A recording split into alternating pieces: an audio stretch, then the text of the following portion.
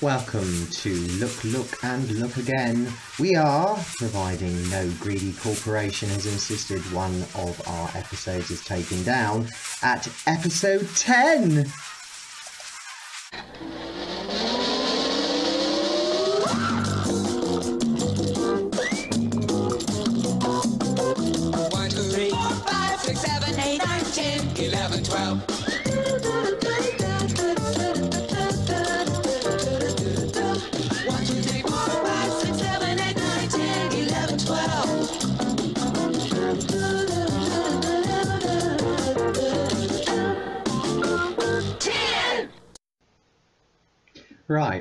That.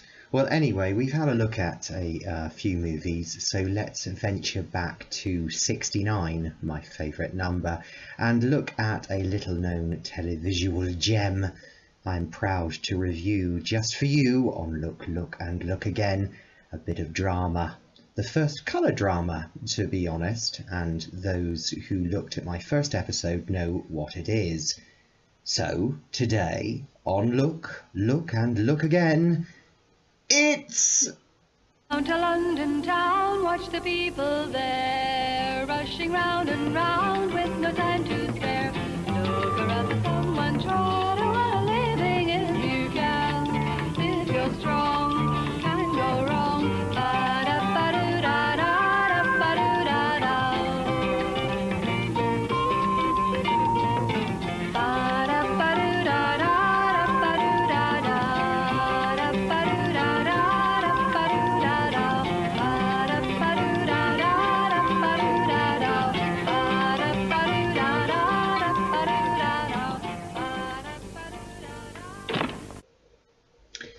1969 saw the end of a decade. What was the summer of love had now drew to an end. As in episode 1 we saw that colour played a huge part in the evolution of the UK's TV output in programmes as Polychromatic Alchemy ensured vibrant glory flooded into the living rooms all across the nation. So, with this in mind, and these changing times that saw the decade shake off the dull 50s, then what better way to reflect this time than for the BBC to bring us the very first colour television drama called Take Three Girls, which ran from 1969 to 1971. Come down to London town, watch the people there rushing round and round with no time to spare.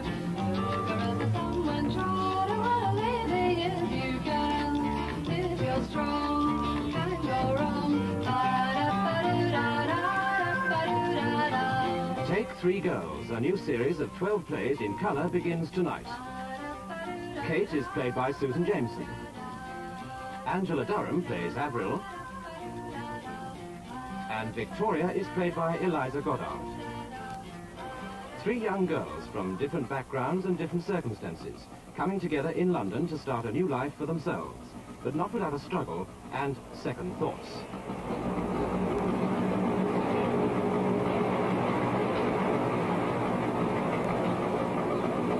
When are you moving in? When I'm ready. Take Three Girls, tonight at 9.10 in colour. Surprisingly, Take Three Girls is a little known nugget of retro television from the United Kingdom that I think deserves a little bit more kudos. However, that uh, as with when we looked at Out of the Unknown and Ace of Wands, the scarcity of the episodes in the archives um, probably ensure that uh, this really goes under the radar. Take Three Girls was from a time when the BBC actually gave a hoot about the viewer and wasn't chasing ratings, producing shit and paying themselves hyperinflated salaries. This was a time when the series and the BBC's output was produced by people with a passion for writing, production, and acting, with the emphasis on quality for the viewer. A time where money and fame played second fiddle and uh, the curse of reality television hadn't taken a hold. And it was also at a time where quality rather than quantity was paramount, and there was significantly less um, paranoia about what other broadcasters were doing. Although Take Three Girls is void of the science fiction, horror, and downright bizarre that we uh, have been looking at here on Look, Look, and Look Again, it is a decent enough um, rare gem that I feel it's necessary to share with you. Why I have decided to do this, I am unsure, but uh, judging by the lack and displacement of information online about Take Three Girls, and quite frankly, as it is so bloody good, I thought I would do it justice here. Um, now, with regards, as I said uh, when I reviewed Ace of Wands, if any of you have memories or recollections of the show, uh, should you remember it, please feel free to comment um, below. And also don't forget to hit the like button. So for those of you waiting for more salacious offerings and uh, more cult and more sort of science fiction and horror, you'll be pleased to know there'll be plenty um, for you later on. Um, I'll in, further indulge you with some more Russian science fiction and other darker morsels. So don't despair. The arterial aura of look, look and look again hasn't faded. It is in fact quite warming up. So back to the programme in hand. Um, I first chanced upon Take Three Girls whilst watching a retrospective clip programme on Channel 4. I recall it being part of their, um, I think it was called TV Heaven, which was a series looking at, and it was looking at cult and retro programs like the Avengers, etc., etc. And it just featured the opening credits of Take Three Girls, and I thought at the time this to be a real treat as I was completely unaware of what Take Three Girls was all about and wondered uh, if the show was as justifiably swinging as its opening credits. The show was also set at the fag end of the 60s, heralding a new decade, so this was a period of transition I've always found to be interesting um, as a time culturally. So it was a delight for me that a programme existed that could highlight this period in time. Even by the opening credits alone, I knew that a certain air of freedom and emancipation was on offer, as in the credits, the three stunning, um, stunning women, especially Kate, um, what a stunning looking woman Susan Jameson was, um, uh, our three protagonists wander around London with obviously stories to tell about their backgrounds and to this the music track um, as such images flash before us are complemented by one of the definitive folk hippie tracks to emerge at the time namely light, Flight, light flight by the pentangle. As well as light flight enhancing the visuals this also proved to be the perfect accompaniment in percussion and lyricism and being a fan of the band anyway, it was a revelation that they had ever scored a soundtrack. It was something that uh, I knew they did. Um, Light Flight was assigned to Take Three Girls, but I really didn't sort of. I was.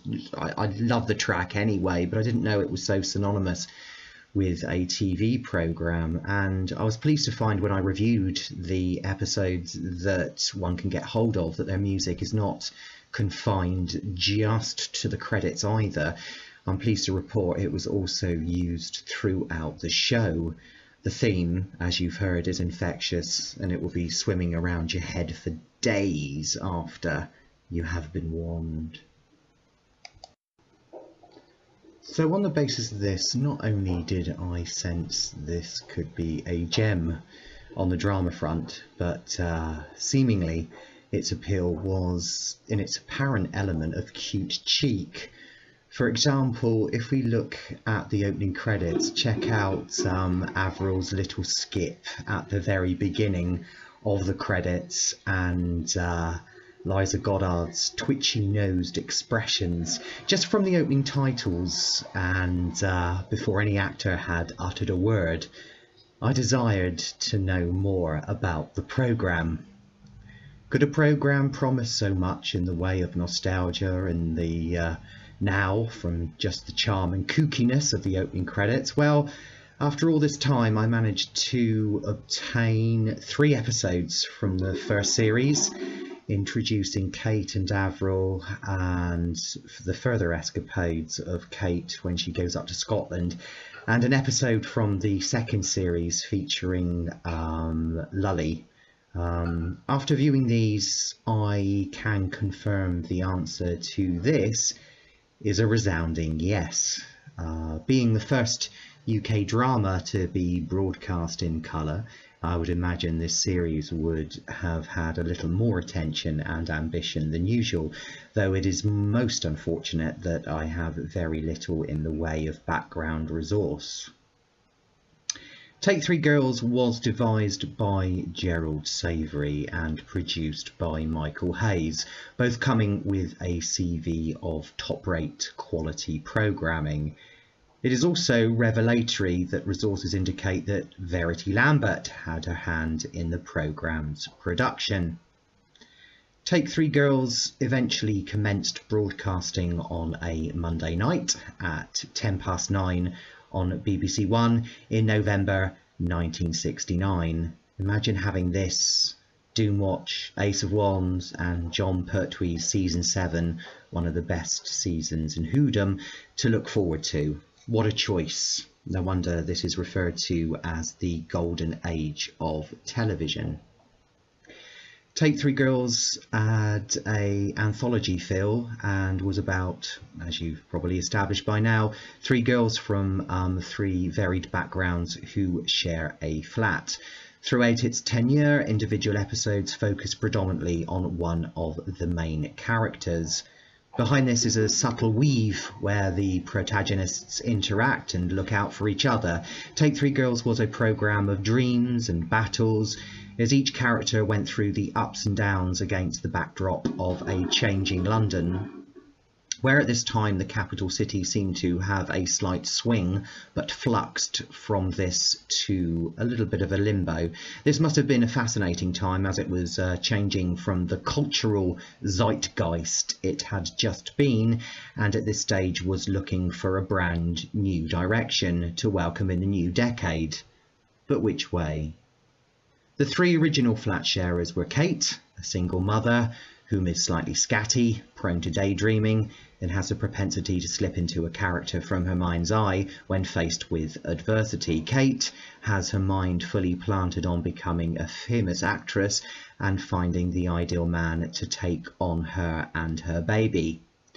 Avril was trapped by the stranglehold of her mother's constant overbear and ignorance, preventing her to flee the nest at home without conflict.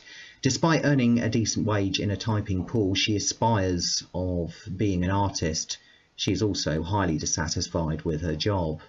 Her introductory story uh, begins with Avril being late for her mundane routine due to her losing total track of time in an art gallery where she often spends her lunch break. So, in a way, the majority can identify with our Avril irrespective of gender, doing what we have to do for independence rather than what we want to do. Some things never change, do they? The third character um, is Victoria a la-di-da of some intellect with a strong sense of logic, but this is balanced with naivety at the same time. Victoria aspires to be a famous cellist. I know little of the last character as the story was the third episode which I didn't have to view. Not only this, but it is also one of the several missing episodes, a casualty of the BBC's shameful purge of archive material. The first series weathered much better than the second series. Please check out at the end of this the archive references um, to see what exists and what does not. Going back to Victoria, one can only surmise how this character develops, but from the episodes I have seen, the dynamics are perfect for decent drama to unfold. Take Three Girls is not 100% straight drama despite its gritty elements. It is alleviated by the tendency to sway towards comedy. At times, from what I witnessed, this strays very close to an almost farcical territory. This can be witnessed in the opening story where Kate auditions for a lecherous producer for the part of a French waitress. They call it the method. Yes, I have heard of it.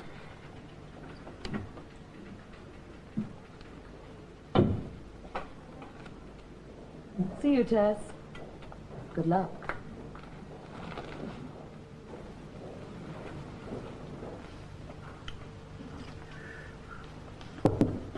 Then, oh, come in, Kate. Let's do the bit on page 43, shall we? Oh, you can, uh, you can take that off for a start.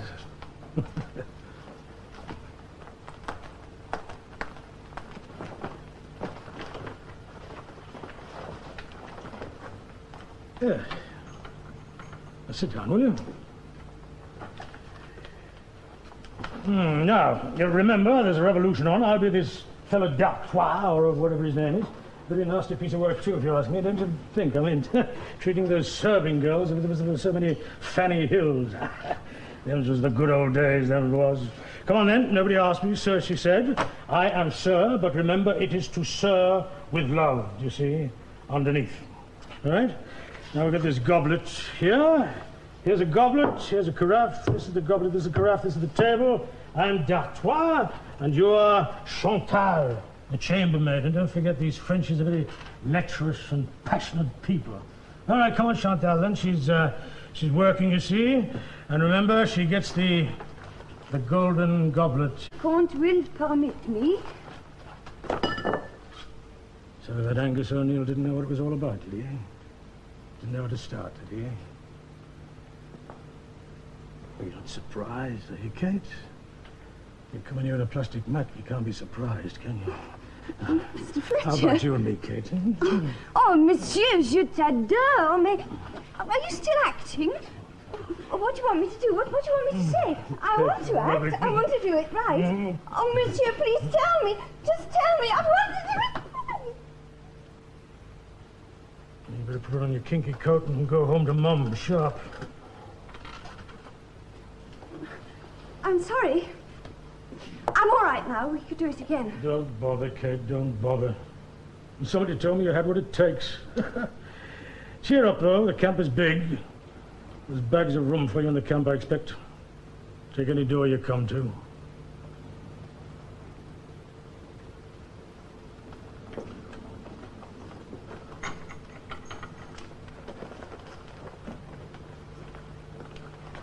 I'm sorry. Well, I'm not sorry.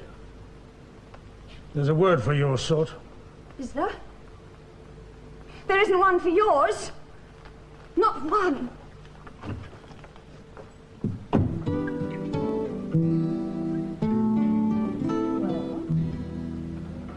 Nothing. I'm surprised. Just tell me, is he typical? No. But I am. Hmm, some things never change, whether 1970 or uh, 2018. Um, such scenes like this are brought to fruition by some of the larger than life supporting characters. Excuse me for interrupting, but if you hear gurgles, I'm doing the washing as I'm uh, doing this vlog to you, so you'll probably hear that, and it's just to make sure that you realise it's not my stomach. So anyway, yeah, such scenes are brought to fruition by some of the larger-than-life supporting characters, and Take Three Girls had plenty of a fine calibre, including some well-known faces such as uh, Stephanie Cole and Anna Cropper, to name but a few. A young Peter Bowles is excellent as the character Jeremy Mandel Fry, where in the first episode Jeremy fawns after Kate, although she isn't the slightest bit interested, and he has a tendency to get completely carried away to almost a small frenzy whenever passionate about a certain idea or person.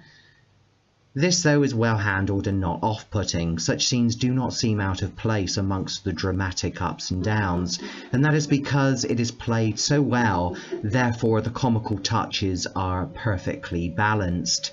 There are many characters like this, bringing more colour to the series, which seemingly accompanying the bold mustard and pesto paisley designs and lurid turquoises on display in cloth and decor, which managed to shriek out to us from the television screen. The great thing about television of this era was that such trends, designs, and interior certainly complemented the new era of colour broadcasting and certainly milked it for every possible hue, albeit lurid. Yes, how, how did it go? You haven't told us anything. They're going to let me know. Um, when you attend these things, do you say who you are? I do say I am the daughter of Telly Bell. No. Time was it might have helped you. Not now. Labunta Annie, posthume, posthume. What's this? Whether my father's a failure or not. Yes, but, but, but what happened? I mean, what does happen on these occasions? Uh, did you have to spout to someone? How did it go, Kate? And either he liked it or he didn't. He must have liked you. Ah, I read an article in a woman's mag on how girls should look when they apply for various kinds of job. Solicitations of bosses and uh, bossesses, the miniskirt traffic. Uh, now, if you applied for the job that we're advertising, general aid, I'd leap at you. Do you give preference to unmarried mothers who can't do anything? Yes, yes, yes, like fun we do, better and better. Isn't that our great tradition? Mary, unmarried, mother of God, begotten most certainly of man, or of Gutsman, or, or Angus man, or God man, all the same. Then you with a Aeneas. That's what we need, courage, resource. Why, even I can type fast enough for our purposes, and a week, a week, a, a month, you too will type like the wind. Why not, Katie? It only took me six months. Him, darling, I mean, can you or can't you? Why not take him like this? She's not right. What do you mean? She doesn't look worried. She looks glassy. Well, she is glassy. She's made me glassy. It's seven o'clock. They won't take a glassy mother and a thin baby. Right. Wrap it up, everybody. Thank you. Thanks, Kate. Thanks, Elias. Thanks, all. Same time Monday? Oh, I don't think so now. Hold on.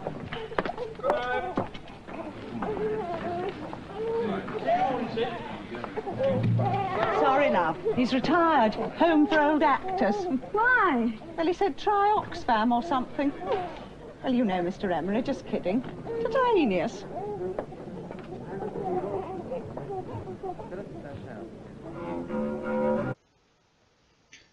Covering the topics of the day, Take Three Girls must have been quite taboo for some of the audience at the time. Although we like to think of this country as completely liberalised in the halcyon days of the 60s and 70s, for many it wasn't. In a brave attempt, the show covered eyebrow raisers such as single motherhood, class, sex, politics, and interracial relationships. Some of the episodes were written by the prestigious playwright Hugo Charteris, and the talents of Charlotte Bingham and Terence Brady were also employed, mainly for the stories featuring Victoria. It was of no surprise the latter writers went on to write some sterling drama for the definitive in period drama Upstairs Downstairs. The stories work on so many levels, reflecting the talents of the writer. As with every piece of quality drama, there is always an element of pathos or mild schadenfreude, and plots focusing heavily on transformation and genesis. The three girls meeting the world begin to change on many scales in front of the spectator. Another thing worth mentioning from the episodes I viewed were the beautifully crafted scenes of warmth, which are in themselves very warm and very moving. Once again, these are excellently written and perfectly played. A noticeable selection of scenes involves the relationship between Kate and her friend Simon, the blind man who lives in the bottom flat. There are some beautifully executed exchanges of dialogue between the two characters, and despite his handicap, Simon seems to be aware of all that is going on and seems to be the one who genuinely uh, cares for Kate and her illegitimate son, Aeneas. The rapport between both is really, really lovely as both look out for each other, and there is a genuine affection, more romantically so on Simon's side than Kate's, but the boundaries are apparent and made clear, as Kate courteously infers. I guess, this, I guess this is refreshing to see because the majority of men Kate meets throughout her introductory story are such leches and really only want Kate out of desire. But with regards to Simon, the affinity between them is an entirely different realm altogether. It's terribly sweet and genteel, but without wanting to make you vomit. You can certainly tell this series isn't American. Uh, goodbye. Yeah, Elias.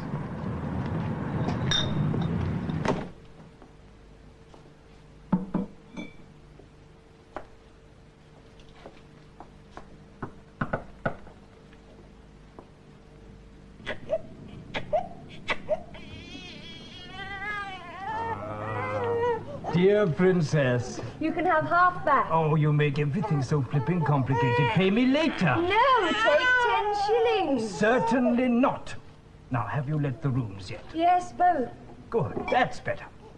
And you're not coming to the church? To see your beloved father, Telly Bell, starring in a christening? Certainly not. Simon? Oh, my dear Kate, I do adore you, but I've got pupils all day long. I must fly.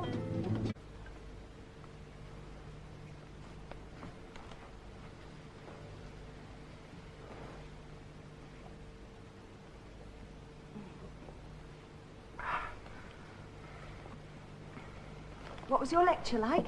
Oh, ecstatic. There were cries of bravo and stamping of feet. By the way, Kate, when I came home, your telephone was ringing. Uh, alas, I was too late, though. Oh, I thought perhaps it might have been Victoria. You know, you never told me what color her hair was. wheat with opal eyes. And Avril? Mouse, but slender as a wand. Oh, dear Kate, your troubles are over. You're a landlady, ten pounds a week steady. I want a decent job. I wish I'd gone to university. A decent job and a degree are probably two things that don't go together. but seriously, Kate, what about the career now? Do you mean the stage? Yes, the stage, acting. I shall go on acting. I know I can. But, for the moment, not upon the stage. Oh, the stage will miss you, dearest Kate. I shan't be going to the theatre now as often as I did. One day I shall find a part, think, this is me. Opposite a splendid leading man, my dear. I had a leading man, but he was miscast. Darling Kate, the casting agency that enrolled Angus O'Neill as a husband would soon be out of business. Would it? I cast you as a friend. And so I am. Another sequence of well executed poignancy are the scenes at the ending of the first episode where Kate identifies herself and her son, Aeneas, with an iconic picture from a calendar. It's iconic in two ways, as it symbolises the sanctity of motherhood which Kate had lost and now finds.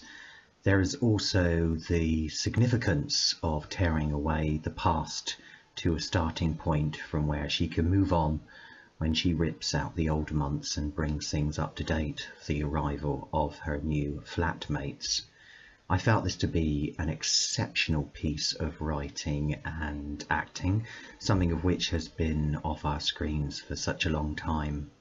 Oh, and the pace, that graceful, eloquent pace where you can really be enveloped in plot without the twisting and twirling of a cameraman on amphetamine or music filling every bloody scene to patronisingly tell its audience what they should be feeling. These missing elements, symptomatic to our modern times, are something I really don't miss at all when viewing programmes from the past.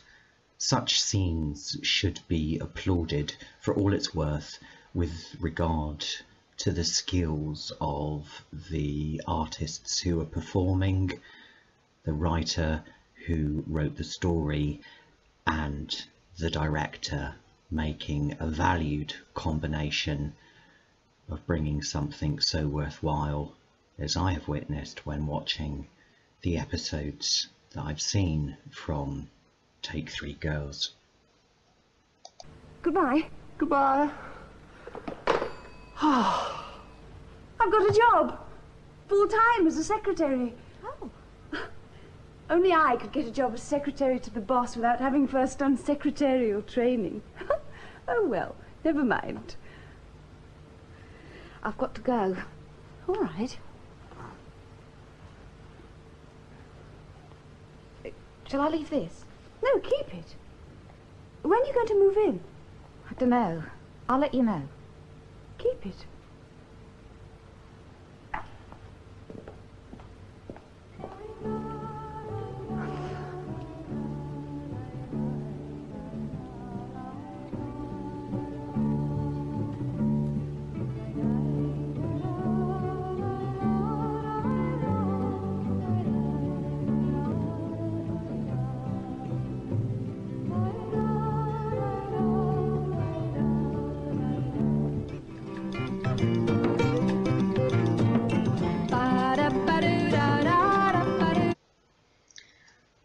Tender moments can also be seen in Avril's tale, which uh, leads quite nicely on from the sequence where she receives the key in the first episode. It's a story called Avril, Devon Violets, where after a bitter parental showdown, her mother finally swallows her pride and bids her daughter farewell at the bus stop with a gift from her own past. This offers a neat twist of conclusion. Um, other skillfully played sequences are Avril's only bit of harmony in the household of that with her father. Both, it seems, are victims of her mother's bullying as a result of her mother's own inadequacy, pride, fear, and the fear of change. The show is positively littered with these touches of warmth and uh, character dynamics, and if you look hard enough, you can find yourself being amply rewarded. Even from the episodes I viewed, we automatically care for the characters from the very get go, and this would have been a fascinating journey throughout its 12 episode run of the first season. I'm certain of that. I'm off now, Barry. Holiday.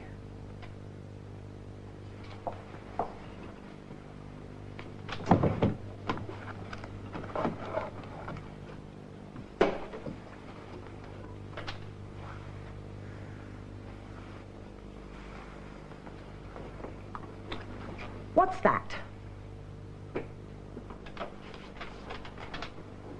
You're Deb and Violet. How long since you given me? How long? Five years this Christmas, isn't it? Yeah. Five years. For your holiday, you said. Well, it was a joke, like. Joke? My holiday, a joke? Well, no, love. Five years. I remember because our Avril was just 13. Five years. Talk, all talk, that's you. Should have known when I married you. In another five years, it would be disintegrated. Talk, all talk. You did all the talking. Yeah, You had a lovely voice, Nora. that's right. All soft and cooing like a pigeon. I loved your voice. Why don't you use it? Use it? Yeah, make it smell nice. It's meant to be used. In that kitchen? When you have your bath. In here. Oh, I couldn't use it like that, Barry. No, I couldn't.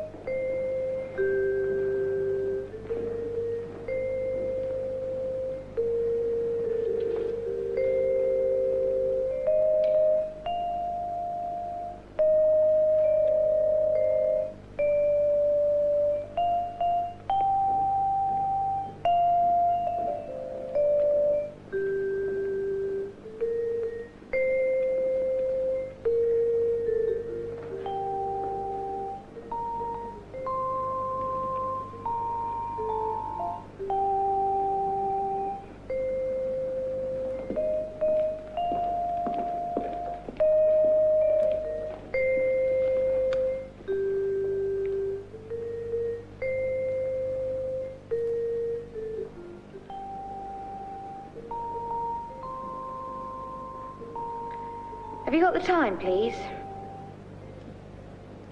Five minutes to one, dear. Oh, well.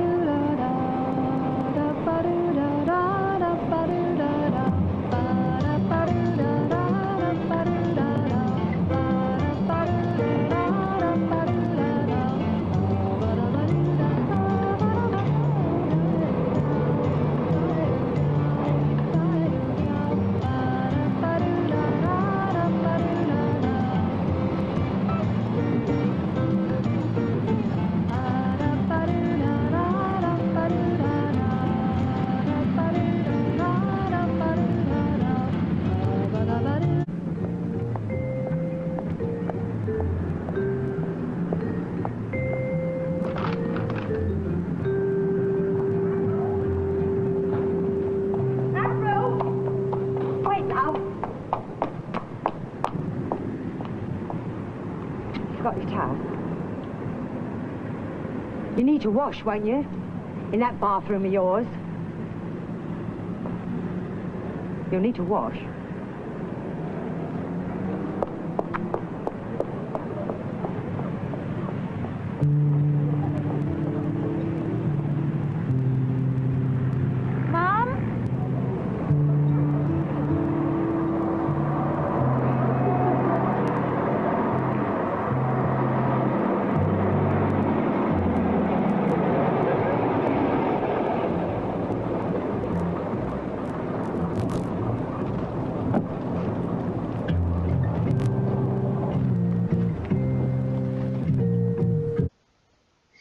Over a year later, the second series of Take Three Girls began another 12 episode duration. Although the characters had changed, whether for the better or worse, I cannot say because of the lack of viewing materials. We gather that Kate went off and got married, and Avril went to work at an art gallery in Paris. This left Victoria with two new flatmates a seemingly opinionated, emancipated American called Lulie, who is studying psychology, and a character called Jenny, who is a journalist. There again, I am short on words here, as I viewed one episode from the second series, which really wasn't all that good in comparison to the first three that I saw from season one. Where I couldn't help but like the characters from season one, I found Lulie to be too far up her own ass to be likeable, and she did come over as a bit of a bore, although it was rather good to see her denouement at the end of the episode. Come down to London town, watch the people there, rushing round and round with no time to spare. Look around for someone,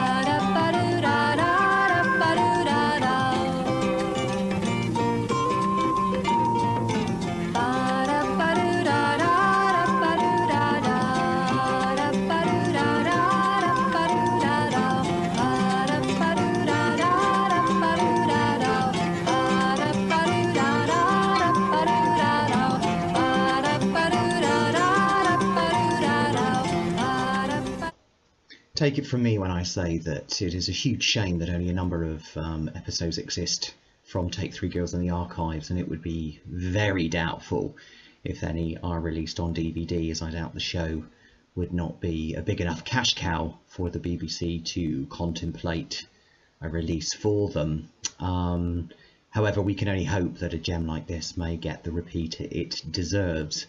It's also rather annoying that the BBC and other um, whether it's the independent television network, for example, don't open up their archives and charge a pay-per-view sort of system, so um, fans like myself of retro television couldn't access them legitimately. There's such a large hiatus and a load of flap about um, downloading illegally and obtaining um, things via the grey market, um, whereas I thought, or I think that if they were to release episodes like this online and people would not look at alternative sources to procure or to get these episodes. It is a shame. Um, I just hope that basically you know that maybe BBC 4 might be able to do a retrospective and screen them but if they do make sure you pull up a seat for a bit of TV heaven which proves that the golden age of television was never a matter of opinion but clearly if Take Three Girls is anything to go by a matter of fact